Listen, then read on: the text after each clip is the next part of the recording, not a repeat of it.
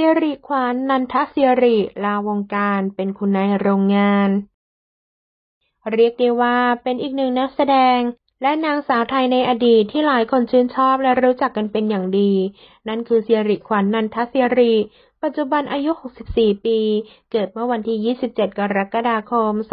2500 ที่จังหวัดนครปฐมมีพี่น้องเจ็ดคน ขวัญสิริขวัญเป็นบุตรคนที่สี่ของพ่อบูเหลง และแม่เง้งแซ่เฮาส่วนพ่อเป็นคนจีน เชื้อสายแต้จิ๋วจากเมืองจีนมาตั้งแต่อายุ 20 ปี ชื่อจีนดั้งเดิมคือ ลี่หัวแซ่เฮาชื่อเล่นขวัญทางด้านชีวิตการศึกษา เรียนจบชั้นมศ .3 ที่โรงเรียนบำรุงวิทยาในนครปฐม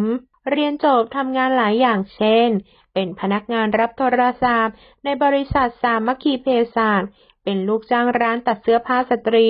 ในนครปฐม โดยสิริขวัญเข้าประกวดนางสาวไทยจักรวาล ในปี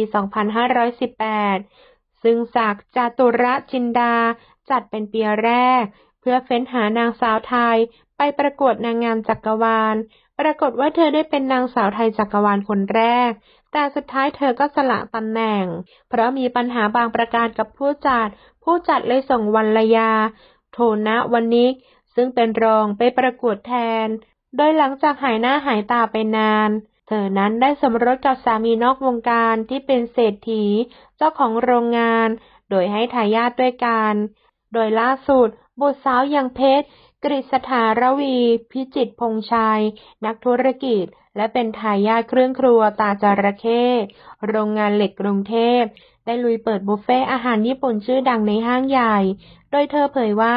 การที่หันมาทำร้านอาหารญี่ปุ่นแบรนด์นี้ก็เพราะว่าเป็นแบรนด์ร้านอาหารญี่ปุ่นของเพื่อน ที่ขณะนี้มีการเปิดบริการแล้ว 11 สาขา ส่วนสาขาแรกที่สาวเพชรได้เข้ามาร่วมงานด้วย เป็นหุ้นส่วนเปิดบริการไปแล้ว เมื่อวันที่หนึ่งกันยายนที่ผ่านมานั่นเองละค่ะ ส่วนผลงานที่ผ่านมาของเซีริควันเธอได้โด่งดัง จากการถ่ายปฏิทินให้กับเล่า ไก่แดง ปลายปี 2518 เป็นปฏิทินต้อนรับปี 2519 สุดท้ายซิริควันก็ได้แสดงหนังเรื่องสเสน่หาอะไรที่พันเทพจำกาม ออกใช้ในปี 2519 โดยรับบทเป็นเมียน้อย และมีฉากว่าปิวในชุดนอนซีทรู